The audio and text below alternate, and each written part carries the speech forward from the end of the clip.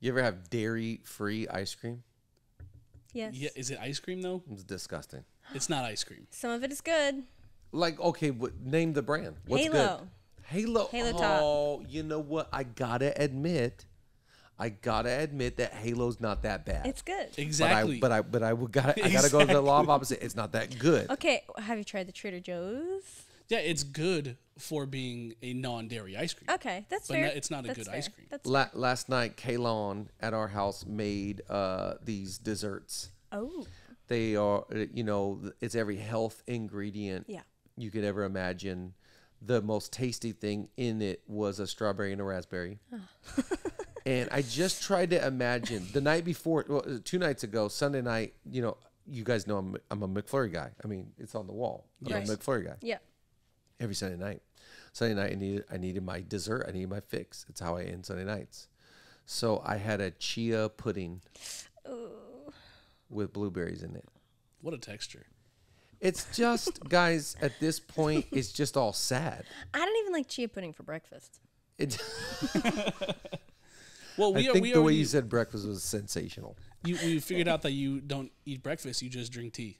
Yeah, Well, yeah, that's mostly true, I guess. yeah. It, uh, the, my point is, all of these, you know, you go to Erewhon or Whole Foods and like these supplement desserts.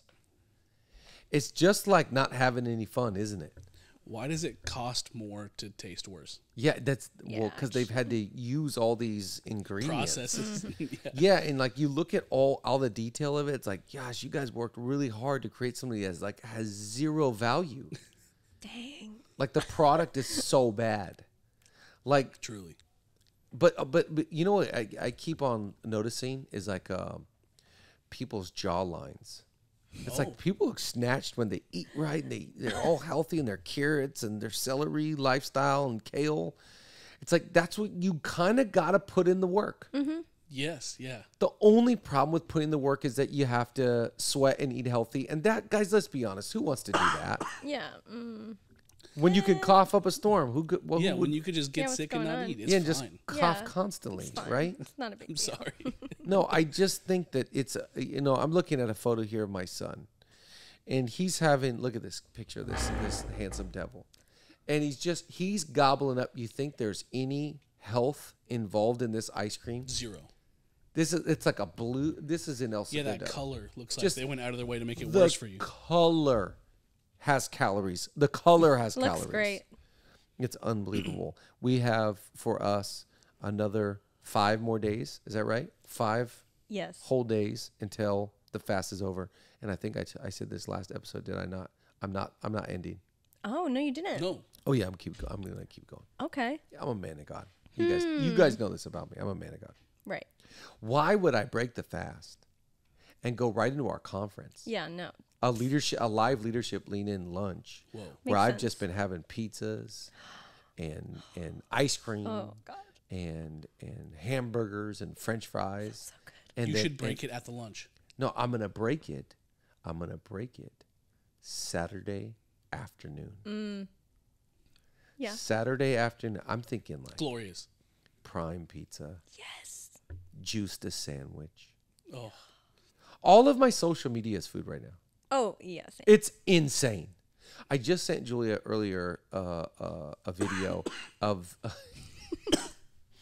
Nate's a big cougher over here. Yeah. sorry, guys. It's okay. Can't stop coughing. um, but but um, you know, I just sent Julia this video of uh, this guy, the top five sandwiches he had last year in 2023. Oh yeah. and it's just like the, they look off the charts. Mm. Yeah. It's it's ridiculous. I can't even stomach how good it looks. I'm gonna endure these next. Well, you guys are at five because you're not on my level. Right. That's exactly true. I've got about eight or nine days, and then it's it's off to the races. Amen. But I feel like I'll be leading better. It's kind of like that story about Andy Stanley when I don't know. when he stopped uh, when he stopped drinking coffee. Over you ever heard the Wow. story? And their team's and, like, and his team um, came to him and said, "Hey, Pastor Andy, would you Please would you- continue." Would you, start drinking coffee again?" And he goes, "Why? Oh, your energy's off. Uh-huh. You know, like you don't. You're not. Yeah. bringing energy to the meetings. But you're not a low energy guy. I am not. Leaners, hear me. We're gonna jump into content, but just know this about. I'm not a low energy guy. No. If I ever brought low energy, I would die. It's kind of my biggest fear is to be a low energy guy, just a an Eeyore of a fella, just a lump on a log. I'm trying to remember what you were like when you did give up coffee. Oh, that was so. oh gosh, that was a couple years ago. I- High high energy irritation. yeah, yeah, yeah, yeah. Nate's like Not- it's seared in my Not memory. good. No, no, hit no, no. hit the Nick Saban. This is what happened. You all may be taking the week off, but I'm not. That's how I sounded uh, in every email, text, uh, meeting, just ticked off. But I well uh, hit Craig Groeschel. Well, the habits you have today will shape who you become tomorrow. That's how I feel right now, just shocked. Really good. That man right there. Are you kidding me? Nunchucks. No, That I was gonna say the same thing. That guy is that guy's a lethal. He's not even. All right, let's jump into it. Let's get it. It's unbelievable.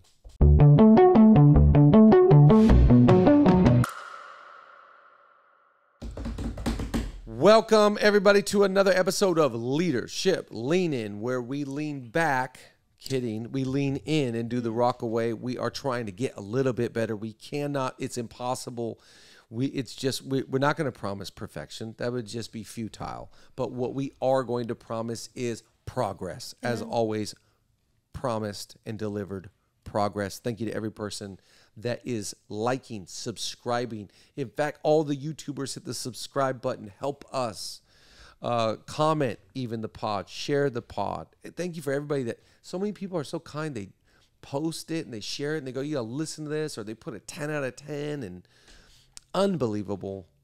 Unbe- you put out a clip today, April, from uh, the last one that Yep. you aired, and it's going crazy The content. on the shares. No, it's it's the editing. Oh, mm, It is not what's Well- being spoken, April. It doesn't matter what. yeah. It's Actually, the it edit. could just be.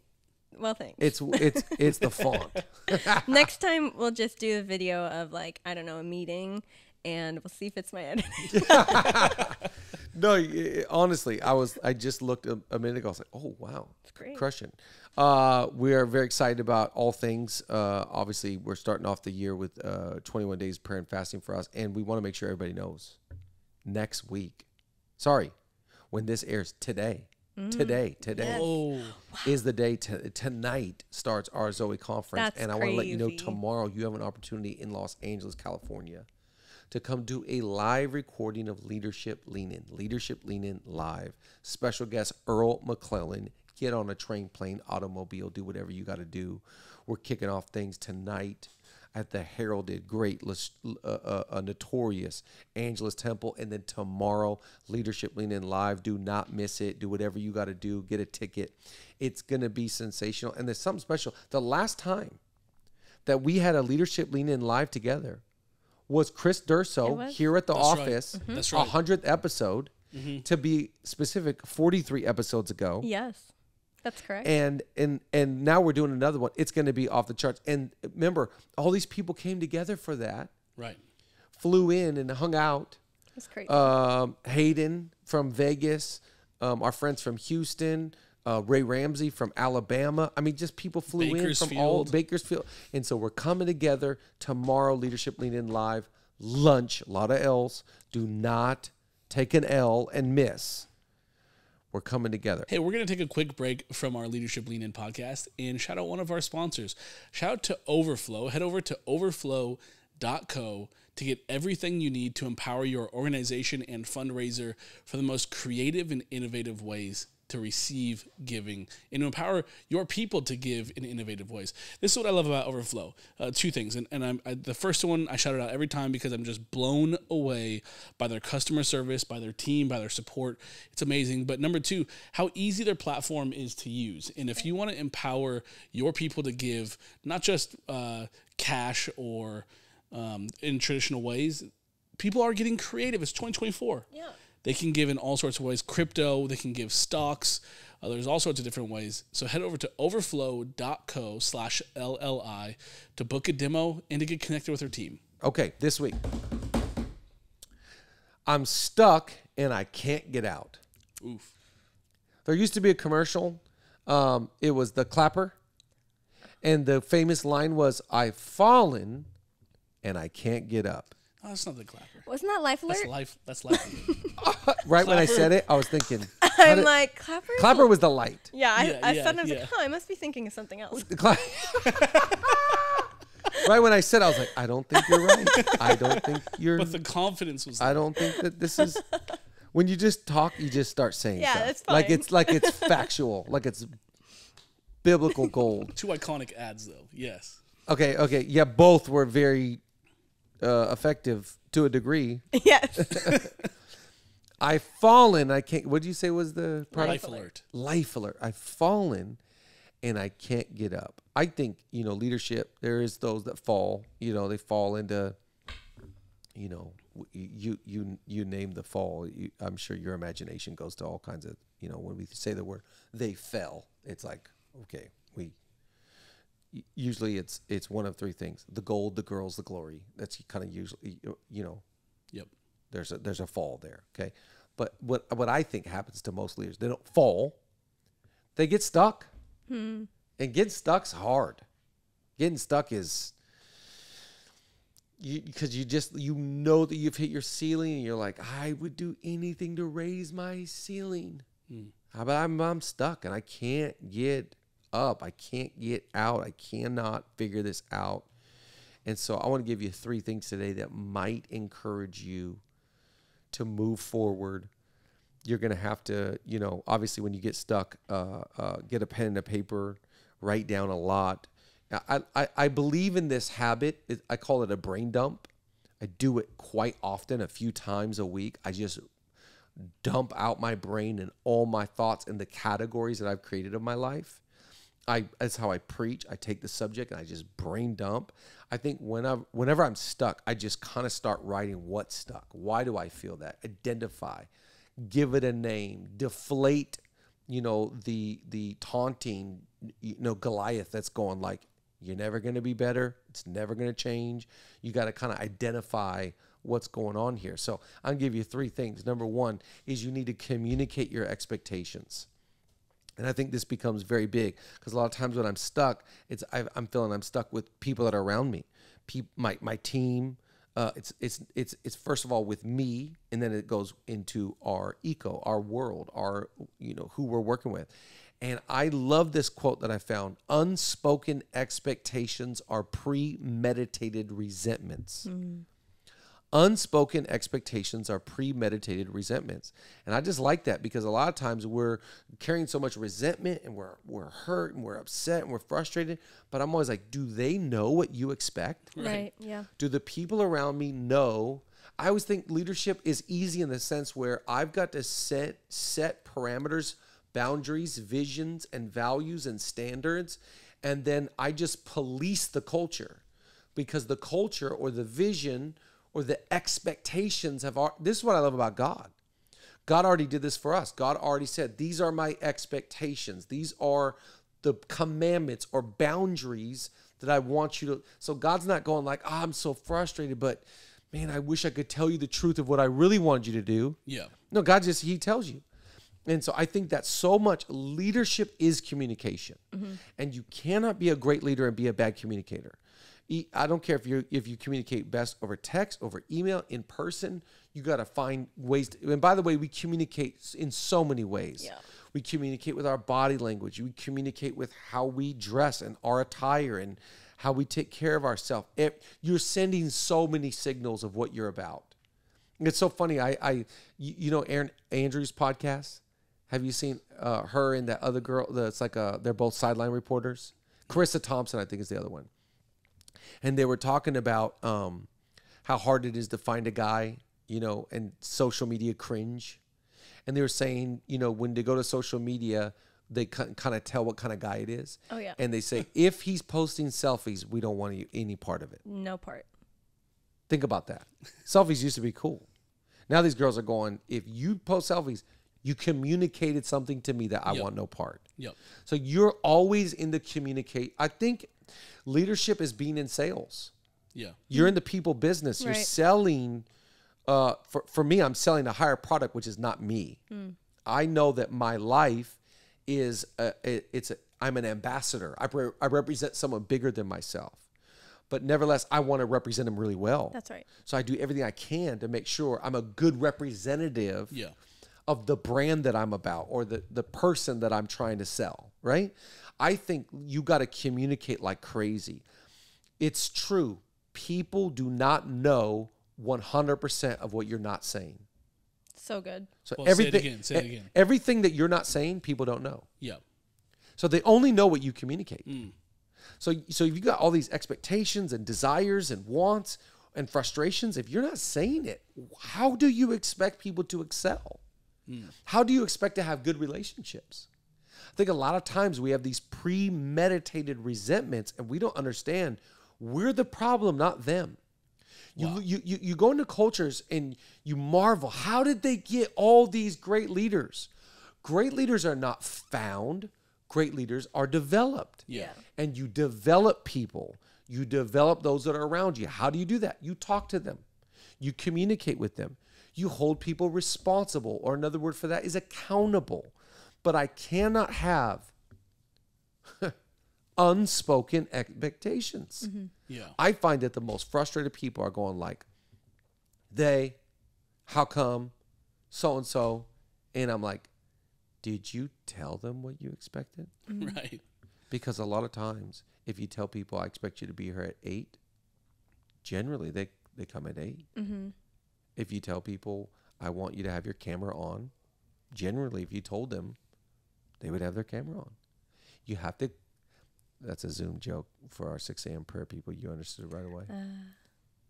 no shots fired. I, I didn't expect. I didn't It's okay. expect. It's okay. I, this next round, you better get ready for August. But you know, but does that make sense? Yeah. And I just think, you know, think about the power of premeditated resentment. D- do you think that? Sorry. No, no. Do you think that that's how cultures become maybe hyper obsessed over a leader versus a vision? Mm. Is the leader doesn't communicate the vision well, or the goal, or their expectation? So now the whole organization is trying to please this imaginary, or what they think they're they're shooting in the dark, going like, "I hope this is what they they want to do well," versus Yes. this is the vision. Guessing. we're, yeah, That's exactly right. Because how, how would how could I be empowered with without you giving me vision? Mm-hmm. And I just think this is again, Jesus is the greatest leader we've ever seen. He mm. is so good. Watch what he does. I'm sending you out by the twos. This is exactly what I want you to do. yeah, yeah. And they come back and they go, We saw some. s-" yeah, because you just you carried his vision. yep, So I think leadership is about being very good at finding ways to take the vision off the walls and putting it into people's hearts. Hmm. And I think that it's hard for if we're being honest, leader, it's very hard for you to communicate your expectations because you think that you won't attract or you won't, people won't rise to your expectations. Maybe you feel like your expectations are too high or unreasonable. I don't know a great leader that has small expectations. Mm-hmm. That's true. wow, They just don't.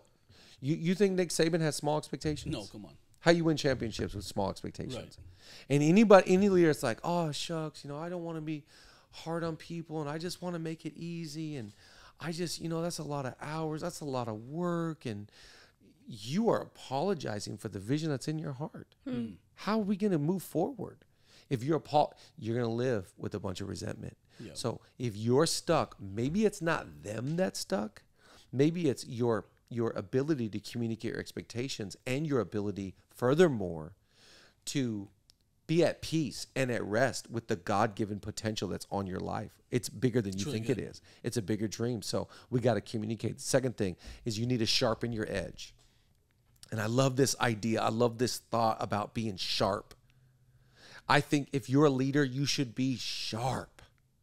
I went the other day, um, I went out to Malibu, yeah, and I took um, Winston with me to go see um, the great coach RJ Barsh, who is now, yeah, shout out 253, who is now coaching for Gonzaga.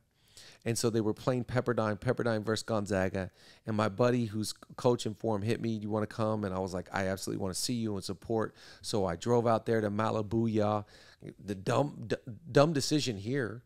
I thought, you know, game's at seven. I can leave my house at five. Hmm. I'm not going to, PCH is going to be a breeze going that way. what? Am Yeah, I it's am I am, worse than am the I am I oh new? Am I new here? Five, Sat on the PCH, my total miscalculation. Let's communicate our expectations a little bit better next time Traffic. insane. Get out there and just like I've always loved this guy has gone he was the head coach at SCU, then he went to Boise State, then went to Florida State, now he's at Gonzaga and you just see him carry himself with such excellence. Sharpness. I think you ought to be known being sharp.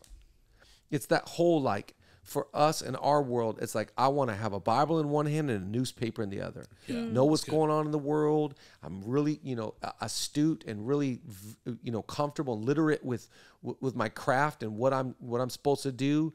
And but sharpness to me is just like it's it's what's in your eyes. Yeah. It's the authority of your voice.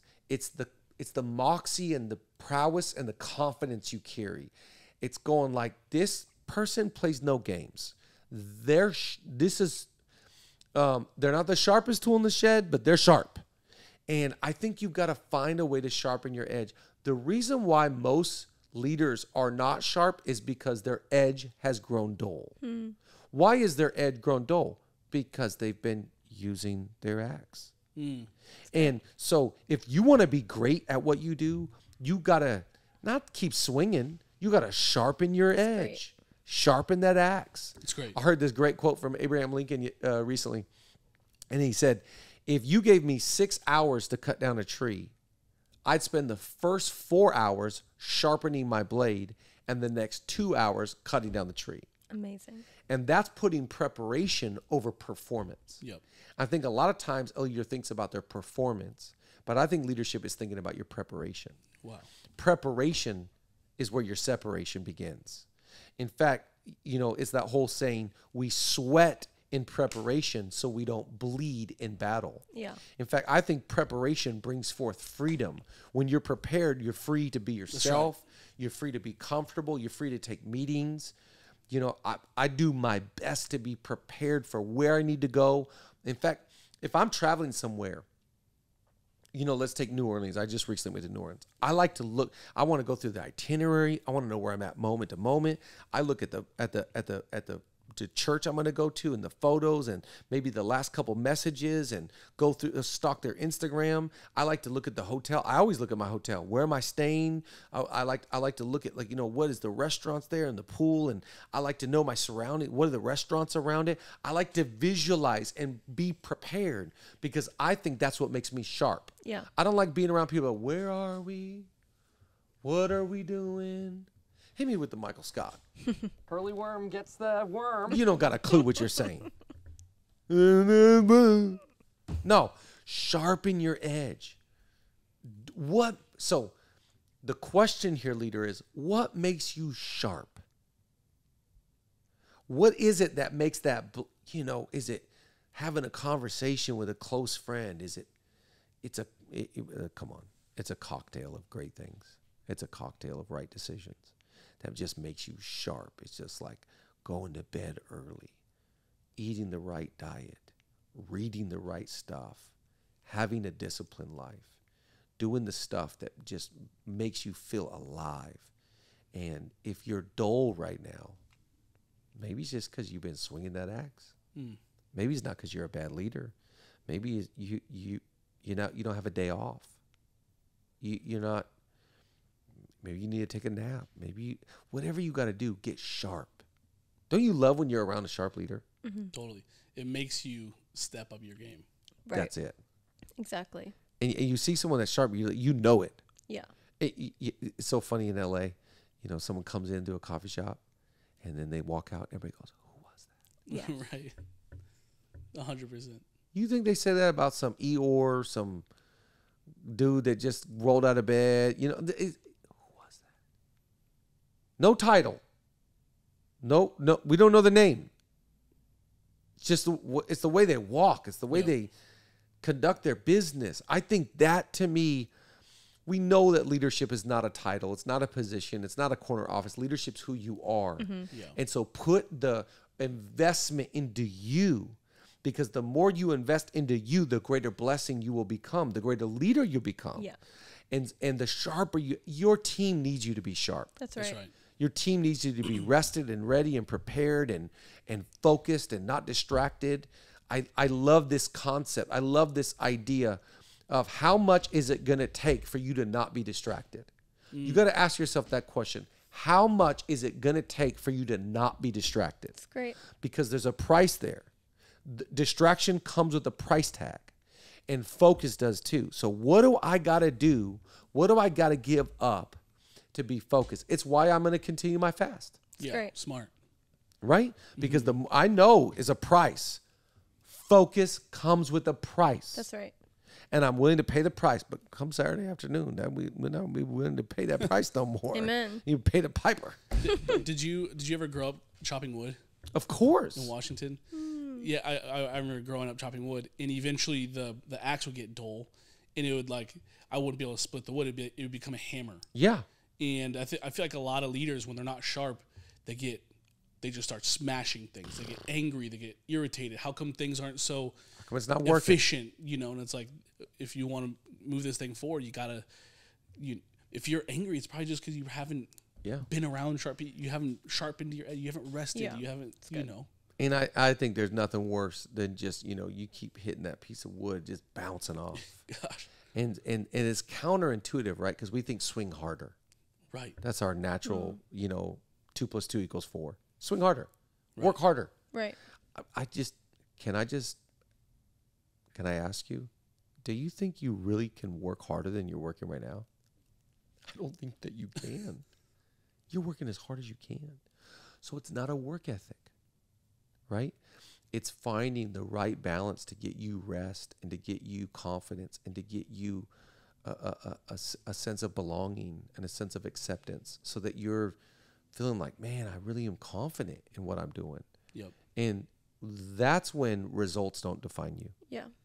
because you just you're you- you're you're more excited about the work than the results of the work. Mm. I think that when you're not sharp, you you're you're so focused on results. Yeah. But when you are sharp, you're just like the work is so fun. Yep. I love swinging this axe. Yeah. I love doing what I'm doing. Here's the last one, third one is you can make excuses or you can make progress, but you can't make both. Yeah.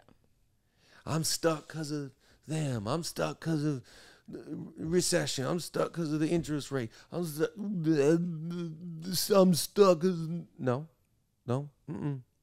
You can make excuses or you can make progress, but you cannot make both. Yeah. And so that's why I I am fully convinced that leadership is extreme ownership Right.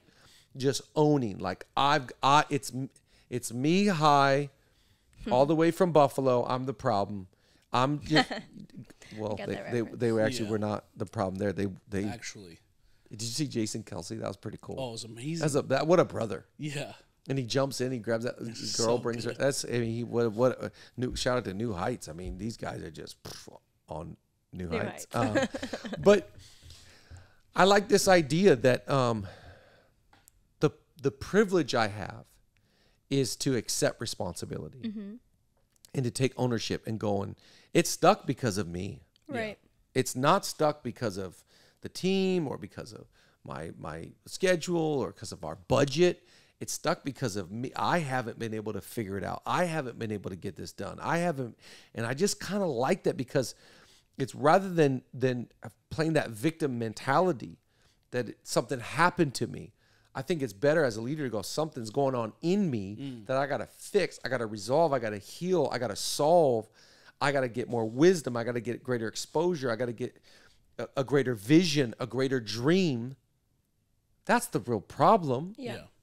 What would you say to someone who kind of swings the other side of the pendulum in that they think everything is their fault? I'm so guilty. I'm the worst.